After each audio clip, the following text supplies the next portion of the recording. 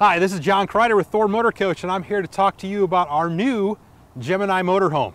This is built on the Ford Transit chassis, and this is actually the first entry into the North American market for a motorhome on the Transit chassis. As you can see here, the Gemini, it's compact, it's gonna be easy to maneuver. It's part of our RUV line, which uh, all of our RUV, RUVs are recreational utility vehicles. And those vehicles are set up to be small, compact, easy to maneuver, and gonna do the same kind of things that your big SUV does, except now you're gonna get a kitchen, a bathroom, and a true sleeping area. On the outside of the coach, you'll notice we have our HD Max uh, exterior package. With the HD Max, you can see you get a colored fiberglass. That fiberglass goes all the way through. It gives you a good look, and it's definitely upgraded from what we've had in the past when you looked at motorhomes. And because of the HD Max, you can see we've added things like frameless windows. The frameless windows give you a, good look. They're also jalousie style, so now you can crank these out and when it's raining outside, you can still get ventilation throughout the coach. Other attributes on the outside of this motorhome, you can see we have exterior speakers, which when we move to the inside, we've got a DVD player radio that actually allows you to put sound out underneath your patio awning. So that way when you're tailgating or you're just enjoying your campsite, uh, now you have some music. And of course, we can't forget that this also comes with an available exterior television. So this 32 inch TV is all set up for all your, your tailgating or camping needs. And it's really nice when you're out underneath the uh, patio awning uh, if you want to just watch the local news or uh, maybe you're going to have movie night and have all the kids or grandkids or neighbors over. Uh, it gives everybody something to do out underneath the patio. Of course, when you're looking at a motorhome, one of the things that you're going to want is you're going to want plenty of storage. So we've got multiple storage compartments. The storage compartments are large. Um, they are nice and deep. So you can pack anything you pretty much want to to bring with you on the road. And of course, this is just one storage compartment here, and we'll see a couple more as we work our way back. As we do move towards the back of the coach, you'll notice that we do have our water heater located here. This is the new Girard tankless water heater. And we really like it because they've taken all the guesswork out of having nice hot water so you can have a nice hot shower or maybe you can do the dishes. There's a single control up inside the bedroom area. You simply turn it to the temperature that you want the water heater to heat to, and that's it. Turn it on, turn it off. You really don't have to do anything else with the system.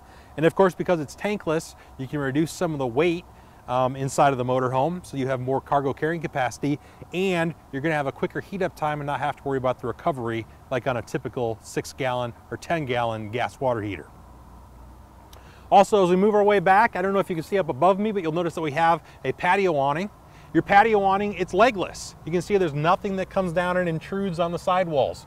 With that legless awning, now you can put the awning out. You don't have to worry about running underneath and hitting your head or or running into anything. Also, it's pretty nice because all the controls are built in, so when the wind gets just a little bit too gusty, instead of you having to run home and worry about retracting your patio awning, it's going to retract on its own, put everything away nicely, and make sure that when you get ready to leave, your awning isn't going to be left at the campsite. Now let's take a trip uh, to the back of the coach here. And in this storage compartment, we're gonna see two access points. We're gonna see one here on the side, and then we'll see in a second, you're gonna see one on the other side. But this storage is nice, it's big, it's all well lit. It's got Rotocast on the inside here. Rotocast is a plastic, it's very lightweight, but it's also very durable. It also has ribs at the bottom, which now allows you, if you spill something in there, or maybe you want to throw some ice in there to make yourself a homemade cooler, uh, you don't have to worry about it uh, delaminating or getting moldy or mildew. You can simply just wash the thing out and, uh, and kind of go. This storage compartment is not only accessible from the side, but we can also get to it by moving around here to the back of the motorhome. This nice big storage area here, it's passed through from one side to the other, gives you plenty of places to put your fishing poles or your camping chairs or uh, who knows, maybe you get your favorite rock collection. Makes it real simple to get back here and uh, put everything in one location. And of course, as we look at the back here, uh, another thing that we'll take a look at is the slide room. So another thing when you're looking at the Transit chassis out there, um, you've got to engineer these things pretty well to be able to allow yourself enough weight to be able to put a slide room on it. So this nice deep slide room comes out about three feet out the rear of the coach. So now you drive down the road, it feels like 23 feet, but when you get ready to camp, it feels like 26 feet. So you have a much larger living area with the slide out room that comes out the back and we don't take up any of that valuable storage area or living space inside. Your backup monitor is standard. It comes with, with every coach and we'll see that on a rear view monitor that's located up in the dash area. And also you have nice bright LED lights that are on the back, along with a 5,000 pound trailer hitch. So now you can hook up your favorite tow vehicle, small trailer, maybe pull your, uh, your little um, ATV with you wherever you want to go. And of course, that's got a seven way round connector. So simply hook up your brake controller and you're off and running. Let's venture around to the other side so I can show you just a few other things that you'll notice on the outside of this Gemini motorhome. Around on the driver's side of the coach, we'll notice a few things. First, we have our exterior storage bay that houses all of our black, our gray, and our fresh water tank. So here we can get right to our black and our gray tank. We can dump them very easily. This area is enclosed, so now if you want to leave your sewer hose connected or leave it inside the storage area, it's all ready to go for you next time you're out and about. And then we move on here. We've got our outdoor connection. So now we have um, where we hook up our electrical when we're plugged into the campsite or in our home. And it's a pretty nice feature because it's got a light on it. So when I plug in and I know I have power, I'll see it out here. So I don't have to actually go inside the motorhome and check to see that I have power. You have a park cable section out here. We also have an exterior shower. So now when the kids or the dog or anybody's out camping and uh, you want to take and you want to spray everybody off just a little bit before they're ready to go back in the coach, you're going to save yourself some time from uh, cleaning once we, uh, once we do that. More exterior storage is on the outside. Here we can see our 30 amp detachable power cord. This is what we'd plug into the sidewall back there where it flipped up. Uh, the nice thing about being detachable is you don't have to worry about winding it up at any single storage compartment. You can pretty much store it wherever you'd like, wherever you've made the, the most space for the power cord. And because it's detachable, if anything would ever happen to that or it got damaged, you could simply just replace it and get that from uh, any one of your RV camping stores. Get it right out of their parts department. LP tank is located up here at the front. And I should mention the fact that this motorhome is powered by a 3,600 watt LP generator. Uh, it's much better than most of the 2.8 or the 2,800 watt generators out there because you're going to get a lot more power. You can run your air conditioner all the time. It doesn't really matter how hot or humid it gets. Um, or if you want to run the microwave and you want to run the air conditioner, um, there's no kind of automatic shutoff valve that some motorhomes will experience where if you want to use the microwave, the air conditioner turns off or vice versa. So this is going to allow you to run all your appliances, everything inside the motorhome at one time without having to um, have additional power to make it run. Now let's go to the front and look at what the cab has to offer on this new Transit. The Transit chassis is extremely popular in Europe, but now it's finally come to the United States. This Transit allows us to have a motorhome and we have a GVWR of 10,360 pounds. Now, our motorhome is powered with the inline five-cylinder diesel engine. The reason we've gone diesel instead of gas is for maximum fuel efficiency. I've actually had this motorhome on the road and I can tell you over a 600 mile period, I averaged more than 16 miles per gallon loaded to GVWR. So I got really good results for what this coach offers. It's got nice pickup, it's got plenty of passing power. Also, it's very comfortable to drive. The captain's chairs are comfortable, your cockpit seating area is very comfortable, and the diesel engine is very responsive. Now, of course, when it comes to diesel engines, almost all diesel engines out there are going to require obviously diesel fuel, but they also may require DEF. DEF is diesel exhaust fluid. Uh, the diesel exhaust fluid on a lot of coaches is somewhat difficult to get to.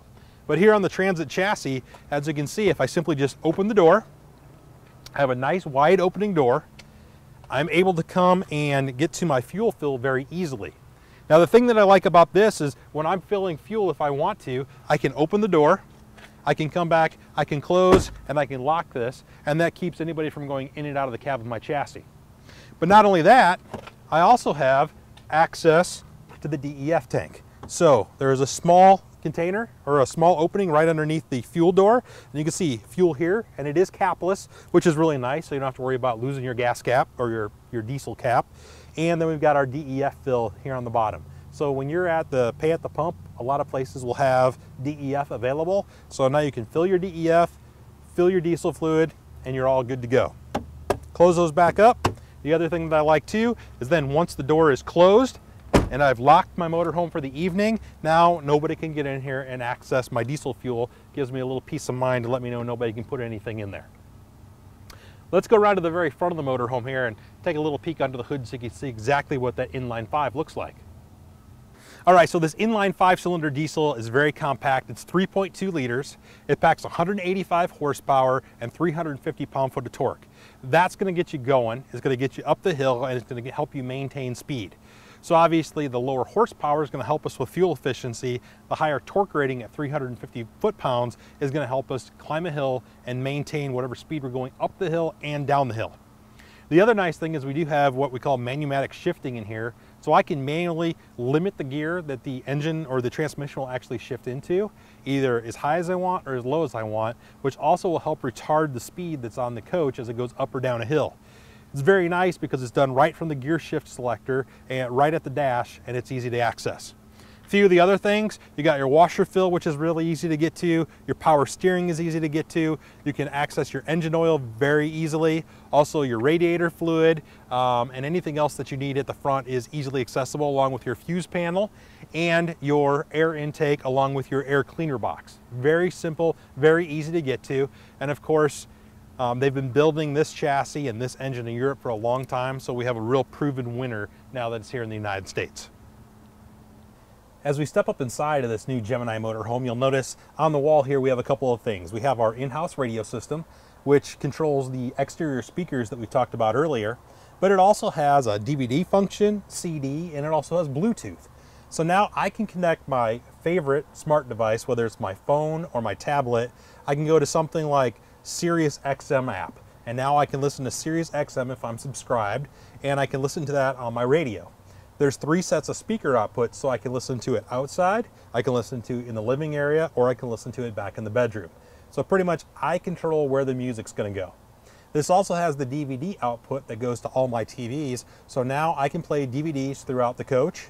And I also even have a USB input. So now if I want to put some MP3 files or I have some uh, books on audio, I can take those, load them here, and I can listen to them there. The control panel here is very simple. It's all labeled, lays everything out for you. You have your generator start. You have all your tank levels here that tell you exactly how much water, gray and black, you have in all your tanks. You also can extend the slide out room that's in the back of the motorhome, turn on your water pump, your water heaters, and uh, anything else that might be located there depending on what options you have installed. We have a nice big grab handle when we walk into the coach. So not only is this double as a grab handle for when you walk into the motorhome, it's also going to work um, in the cockpit area as we get in and out of the cockpit area. We'll work our way up into the motorhome. And of course, from back there, you can probably see that we've got a pretty nice looking skylight here.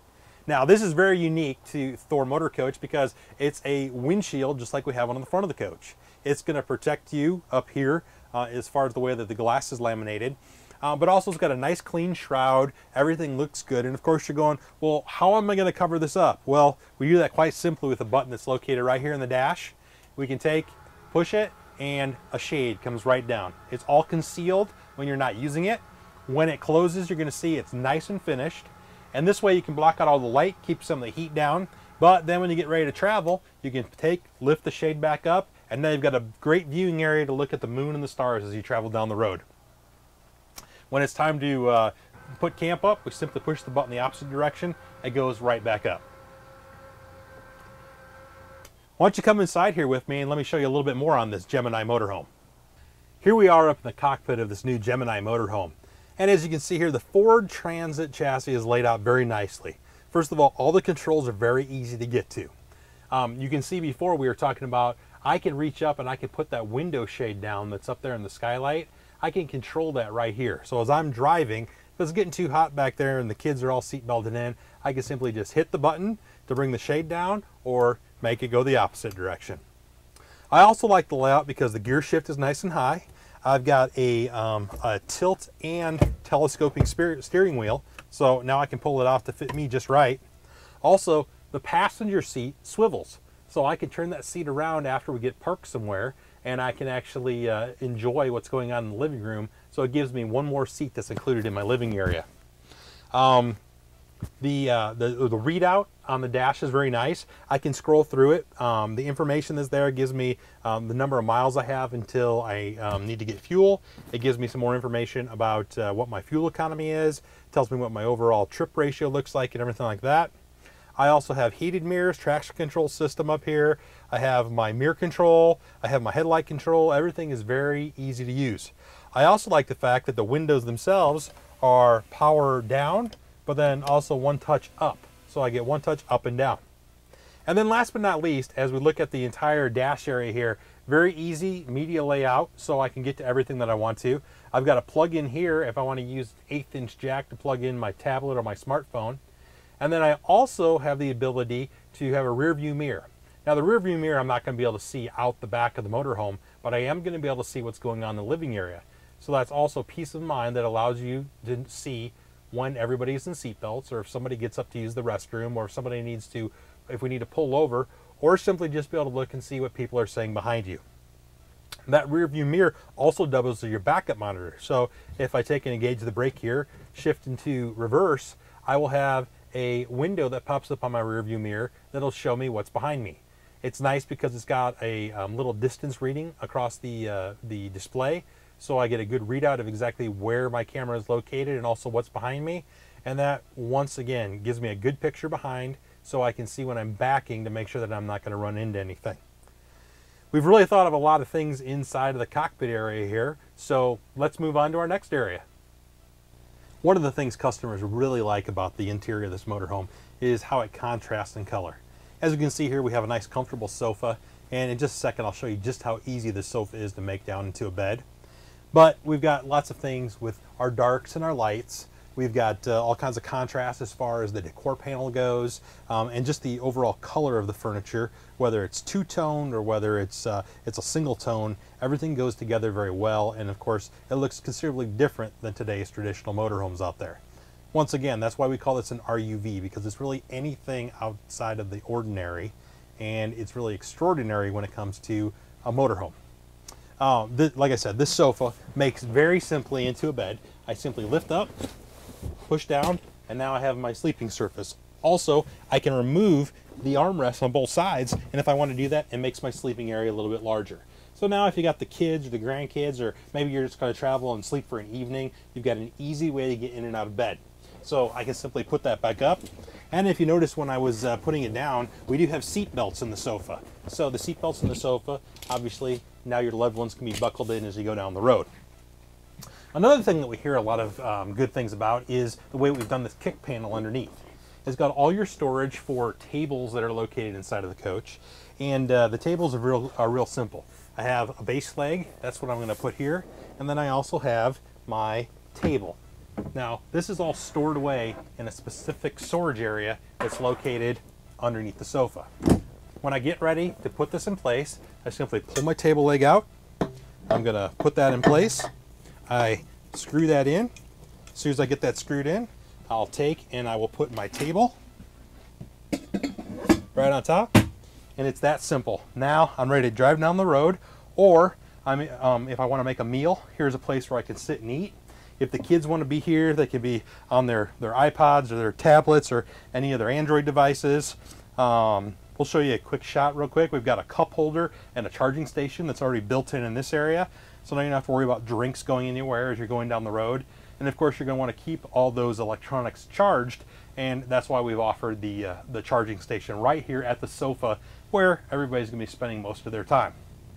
So let's go take a look at this kitchen that's right behind me and see what it has to offer.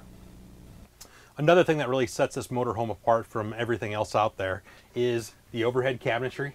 You can see here we have laminate on the outside of the cabinetry. You can see that it's got nice spring-loaded um, catches that lift the door up. Also, when you put the doors down, you can see that they stay shut without having to have any initial catches or any other catches on it. We have things like a nice big cooking area, so you got your flat cooktop. So if you want to use this, you've got a little protection from your window valance and you've got a two burner cooktop. Also, we have a nice big, deep single bowl sink here. It's all stainless steel. And of course you have your nozzle that pulls out. So a very modern, contemporary look and feel to the inside of this. Same kind of thing here. We look at all of our lights in the coach. They're all LED. So you're going to have nice efficient lighting, but you're also not going to use nearly as much um, energy as you would with a halogen or an incandescent bulb. And then of course we also have other areas here. So you've got storage behind this cabinet. We have our microwave that's nice and low. So now if you want to get into the microwave, I can simply just put things in and out close the door, operate it from here, so I don't have to worry about trying to lift something up high and have it spill on me if I'm a little bit shorter.